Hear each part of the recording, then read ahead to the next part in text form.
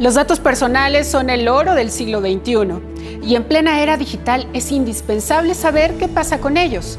Porque recordarás que cuando tramitaste tu tarjeta de crédito o de una tienda departamental, registraste tu nombre, teléfono, dirección y RFC.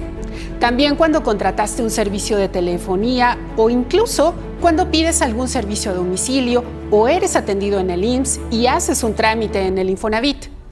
En esta emisión hablaremos sobre cómo puedes proteger esos datos personales. También qué empresas e instituciones pueden tener nuestros datos y para qué pueden usarlos.